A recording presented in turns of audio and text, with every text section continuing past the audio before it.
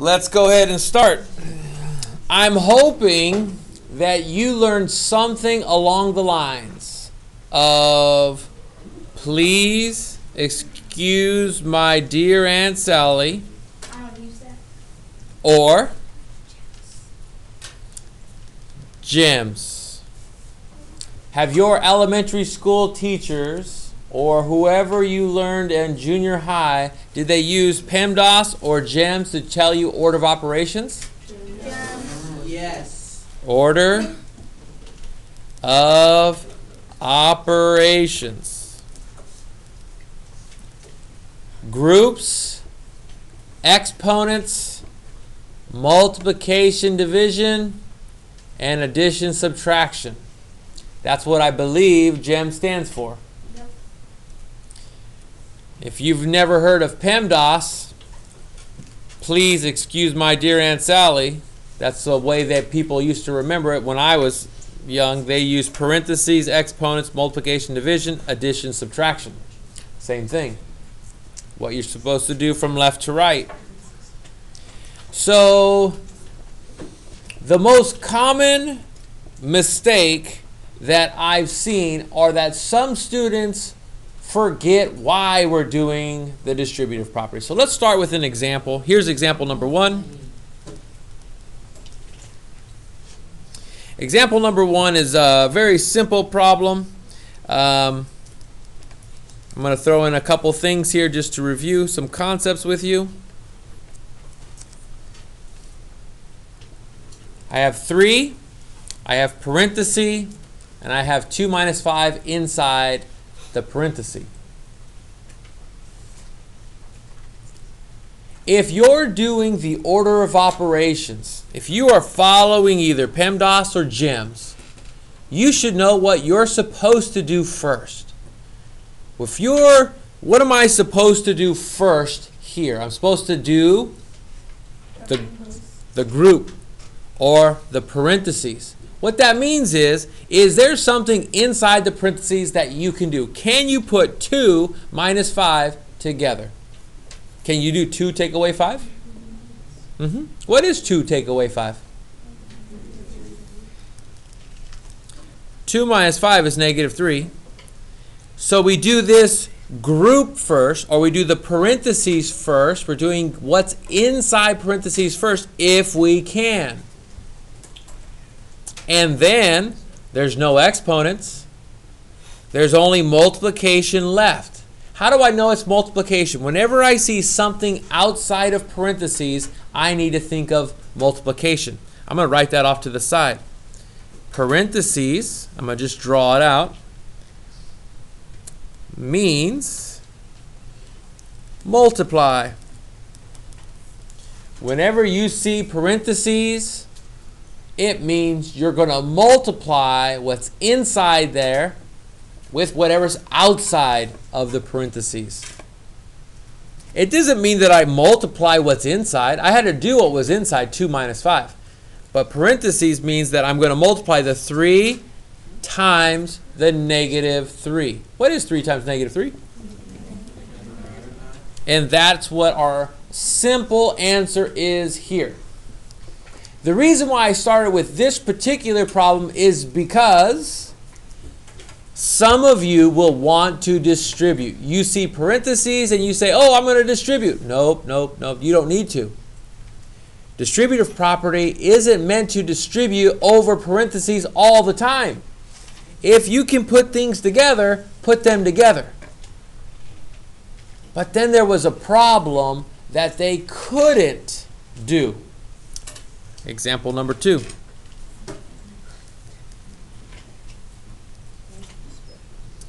Seven, parenthesis, z minus four.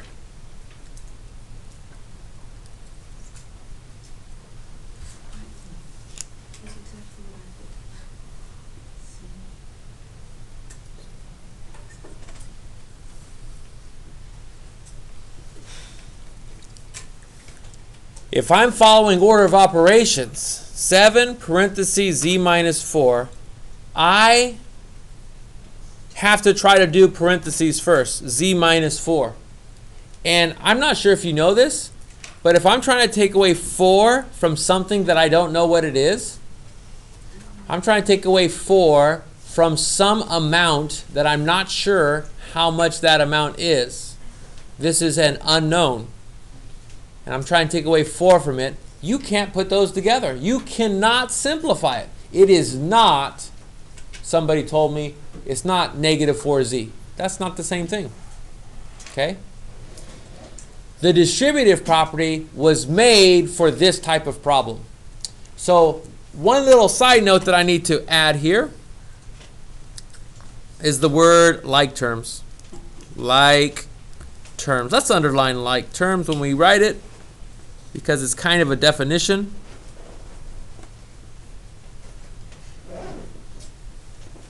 Like terms have the same variable. And I'll put in parentheses S, variables. They either have the same variable or variables. There can be more than one.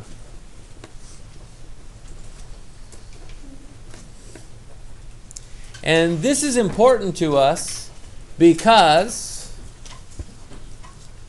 we can only add or subtract like terms.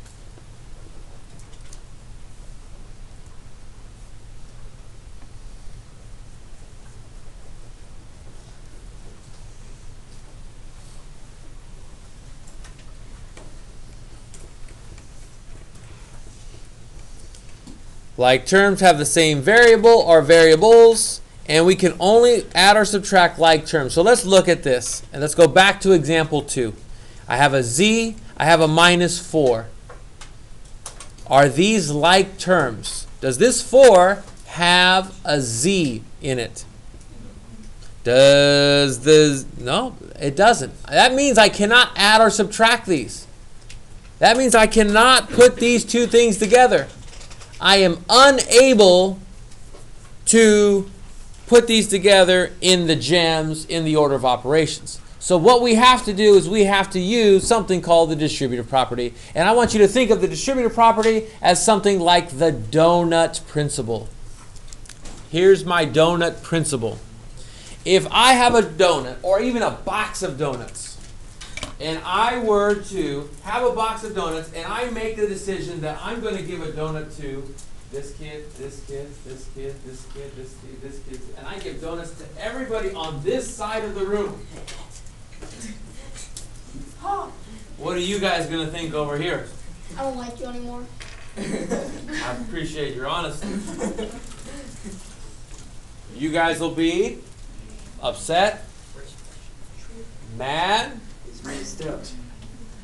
feel bad. The donut principle. The donut principle says if somebody has donuts and they give them out, you want one usually, unless you're unless you're really good at controlling your appetite. Me, I'm not so good. Same. Okay. So, if I distribute something, I don't just distribute it to the first term, I have to distribute it to every term inside the parentheses. That's what the distributive property is. It's very much like donuts. If I do this 7 and I multiply it to the z, I have to also make sure that I give everybody inside this room the same donuts. If I do 7 times z, I have to also multiply 7 times the negative 4. That is the distributive property. And parentheses means multiply. So I'm going to multiply 7 times z. 7 times z is?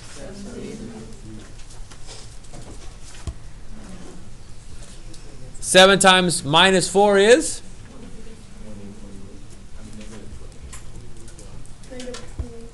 And can I put the 7z together with the negative 28?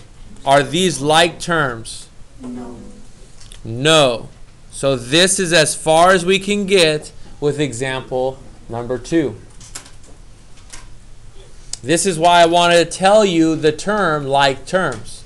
You can only combine like terms when you're doing problems like that.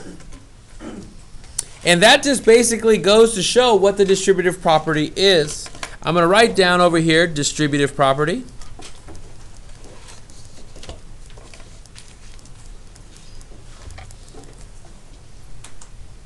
What is the distributive property? That's how I'm going to try to answer that um, question for you. Let me move that up a little bit.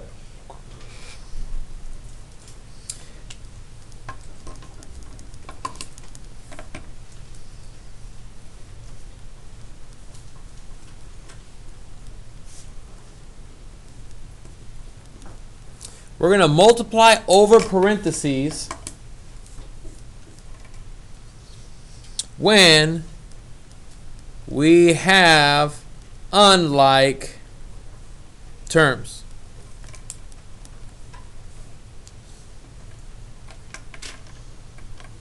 That's what the distributive property is.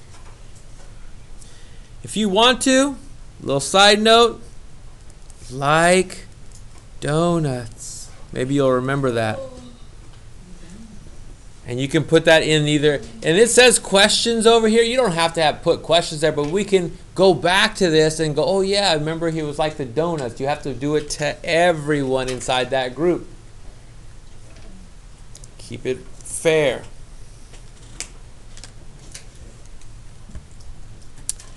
This works whether the group is in front or whether the group is in back. This is multiplying. In example 2, the z minus 4 is in the group, and I have 7 times the group. But we could also have the group times the 7, and the 7 could be in back of the problem. So let's do another example. We'll call example 3.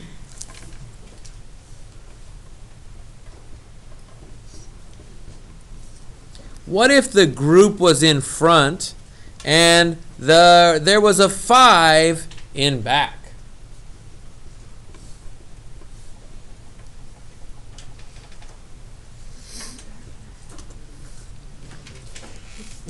Don't forget that multiplication is the same no matter which direction it is. For example, 2 times 3, is that the same thing as 3 times 2? Are those the same thing? They are the same. 3 times 2 is the same as, as 2 times 3. That's because multiplication is commutative. Uh, commutative. You can move it. I can move the 5 in front or the 5 in back. It doesn't matter because I have this group multiplying the 5. It is multiplying. So that means this group is multiplying 5. And if I, can I put the 6y and the 3 together? Are those like terms? No. There's no y's in this one. I can't put it together with the 6y unless there's 3 y's there or something. So what can I do? I can distribute the 5 into this term and into that term. Terms are always separated by plus signs and minus signs. I'm going to write that off to the side over here. Terms are always separated by plus signs and minus signs.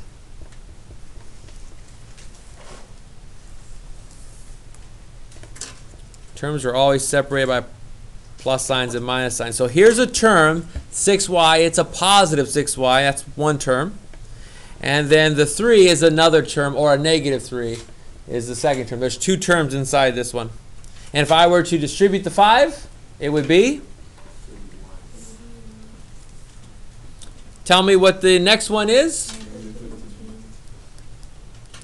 And my next question, can you put the 30y and the 15 together? No. Nope. Not like terms. Because they're not like terms. Wonderful. You almost have everything I want you to have. But what happens if there's a negative? Over here, I'm going to put example 4. What happens if there's a negative p minus 6. What if I have a negative in front of a parenthesis with a p minus 6? Let's see what you remember. Jada.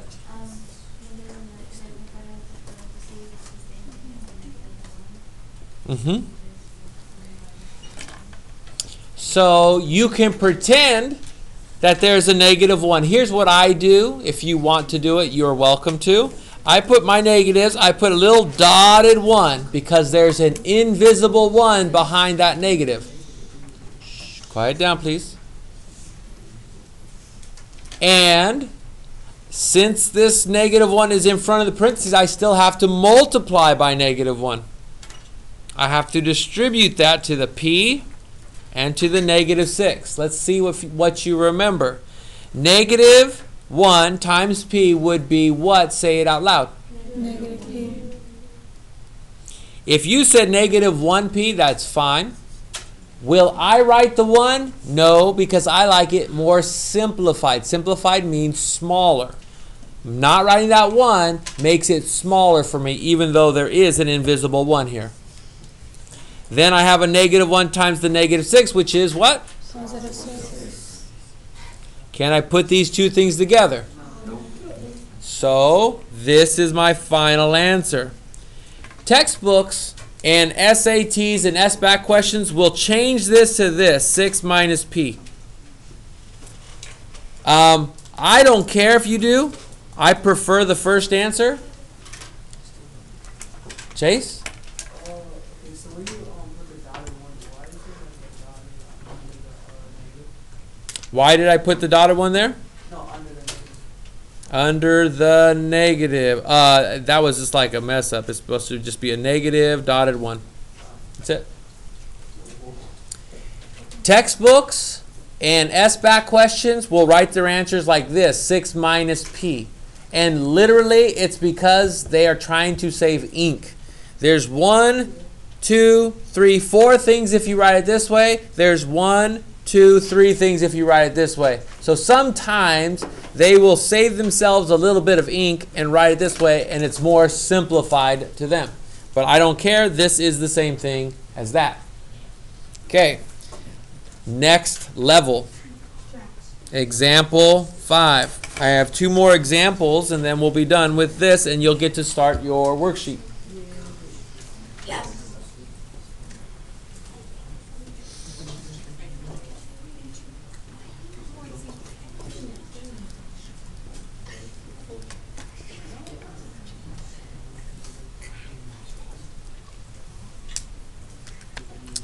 Example 5. 2x plus 3 all over 3. 2x plus 3 all over a fraction of 3.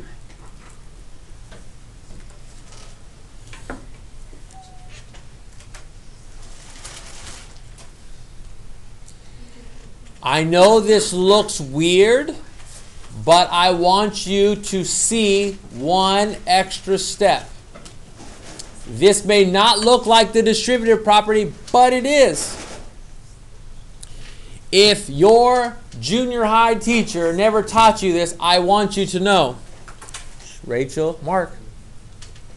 If your junior high teacher never taught you this, this 2x plus 3, since there's a bar that goes from here all the way to here, what that means is this.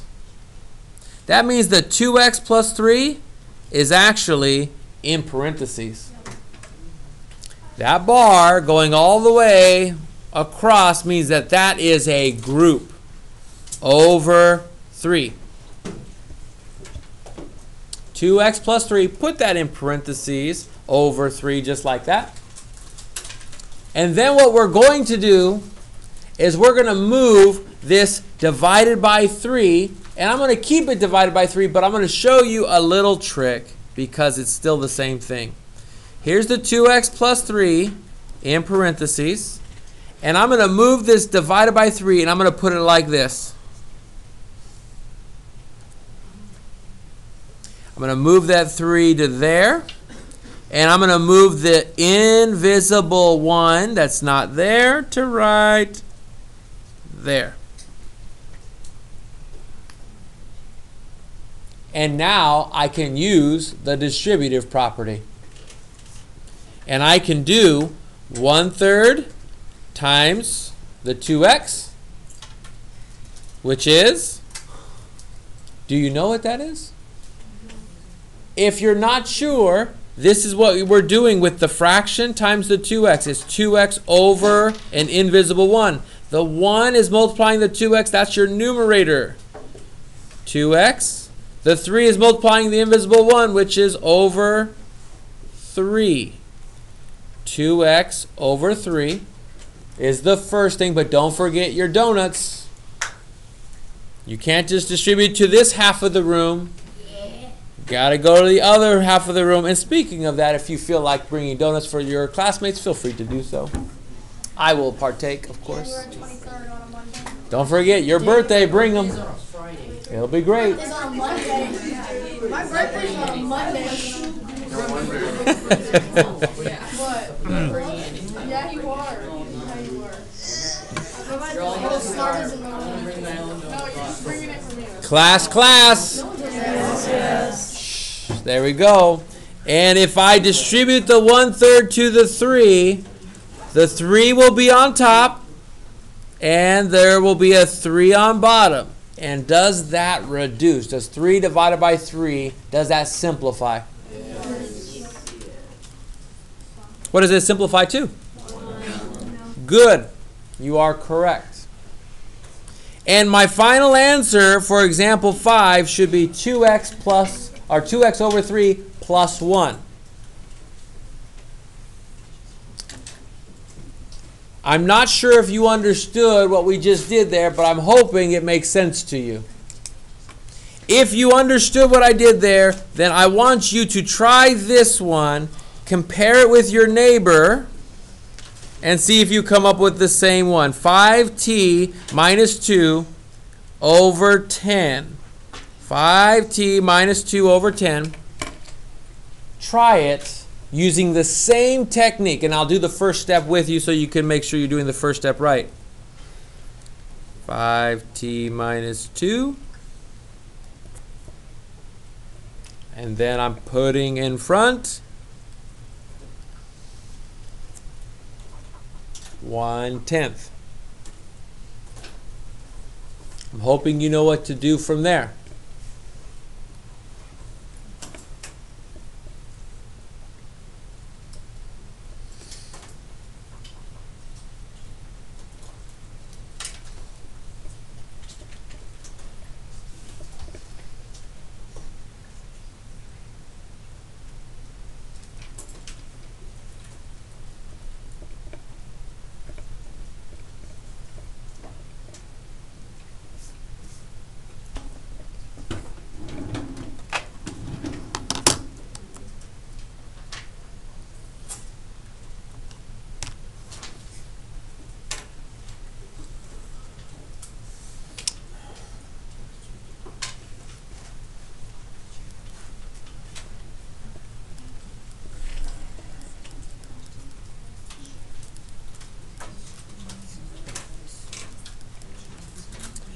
Make sure that you are putting it in lowest terms.